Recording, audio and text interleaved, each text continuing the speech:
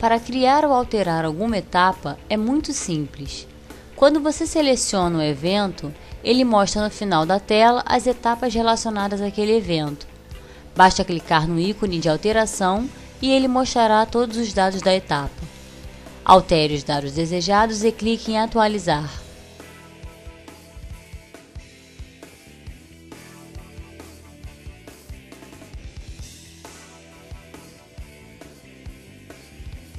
Pronto, a etapa foi alterada.